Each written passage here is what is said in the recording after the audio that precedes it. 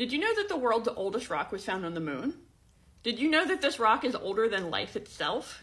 Did you know that the Earth is missing several hundred million years of its own history? Well, let's go on a journey.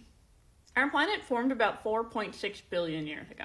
At this point in time, the Earth was just a big hot ball of magma, and the atmosphere was not just humid, it was 25% water. It was about as habitable as your average day in Florida.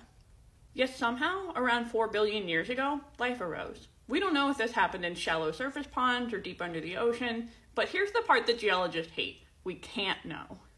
Here on Earth, we have this funny thing called plate tectonics, where old material gets recycled back into the mantle and new material comes up to be new crust. So go back far enough, and eventually all the material has been recycled. There's no more left to study. Everything that happened in the first 600 million years of our planet has been lost to history. Everything except a rock named Big Bertha. Astronaut Alan Shepard picked up Big Bertha from the moon in 1971. But what's really astounding is that he picked up this 20 pound rock and took it back to Earth without even knowing what it was.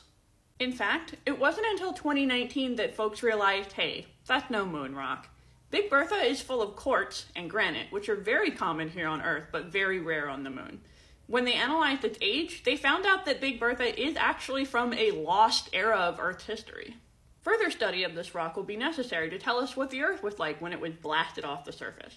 And who knows what future missions on the moon will find. There's probably even some very dead dinosaurs up there. That's all for today. Stay tuned for more fun astrobiology facts.